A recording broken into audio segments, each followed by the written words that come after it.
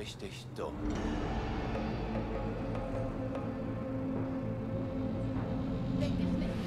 Ja.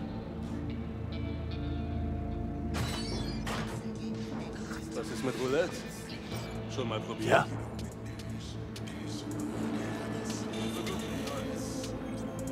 Warum? Die Chancen sind immer gleich. Man gewinnt oder man verliert. Endlich mal was los hier!